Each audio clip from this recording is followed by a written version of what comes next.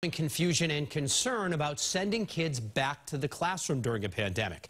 A father in Arlington claims that his nine-year-old son was sent home today because he was sneezing and was told not to return until he gets a negative COVID test.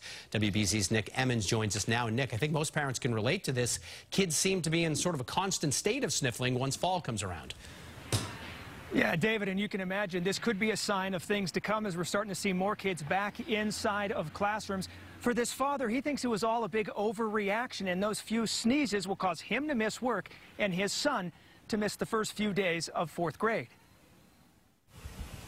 It's the first day of fall, and as many kids are back in classrooms, nine-year-old Lansonet Keita is back at home. I sneezed two times, then the teacher told me to go to the nurse.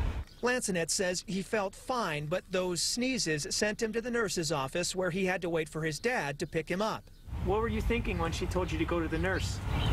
I was thinking I didn't have anything, just a couple sneezes. I feel so upset about it. I'm so upset about sending my kids home. Cherno Keita says he got a call from the school nurse this morning that caught him by surprise. He's got a bit of a stuffy nose and sniffling and sneezing this morning, so I need to speak with you. Keita says his son was okay when he left for school and also had no symptoms when he picked him up. Now he says his son needs to take a COVID-19 test to be allowed back. He don't have any fever, he don't have any symptom, no one, and he's okay. Okay, and I checked his temperature, everything was perfect. Temperature is okay. It's, it's okay. Okay, here we go. Keita even took his son's temperature in front of us to show he doesn't have a fever. 98.3. We reached out to the school and the district, but so far have not heard back.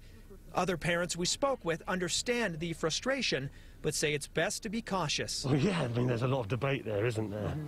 Um, I guess you just got to use good common sense. Yeah, we feel safe and uh, we think that the teachers uh, pay attention, so we trust them. And so that father says he is going to get his son tested for COVID-19. He hopes to have back a, a, negative result so we can get back in this classroom as soon as possible.